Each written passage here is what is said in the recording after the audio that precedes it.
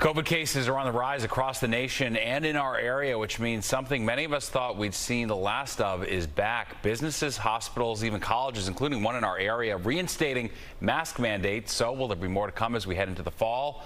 And are people ready to be forced to mask up again? Kendall Green joins us live in the studio. And Kendall, what do health experts have to say about it? Hey, good evening, Steve. They're saying if you don't have them already, it may be a good idea to stock up. And if you do, keep them handy.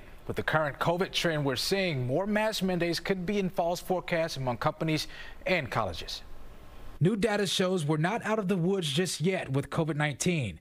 In fact, the numbers show the last few weeks it sent more Americans to the hospital, with an increase of more than 20% from last week in deaths and hospitalizations nationwide. We know that there is a lot of circulating COVID right now. Dr. Stephanie Silvera, an epidemiologist and professor of public health at Montclair State University, urges caution of the new threat on the horizon. Though the number of cases of variant BA.2.86 are sparse in the U.S., the newest strain is predicted to be the most infectious yet, while it's on the rise in Europe. There's a growing concern that our current vaccines are not going to be as effective as they have been in terms of reducing both spread and severity of illness.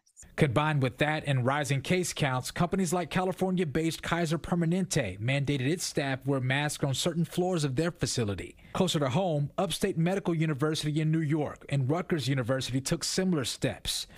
The epidemiologists in favor of calls for caution considering the newest variant's impact overseas, though fewer cases have been reported in the United States. In thinking about what is the next step in terms of public health and how to prevent further spread, unfortunately, masking is something that we need to consider, even though most people don't want to. Some New Yorkers telling Fox 5 they're willing to comply with potential mandates. I don't want to get sick. I, I, like being alive. I think that it would be super helpful if it's spreading again to stop the spread. The mask can either be healthy, so for people who are sick, you know, it can help them, but other people, if they, I feel like it's half. Dr. Silvera making a bold prediction heading into fall.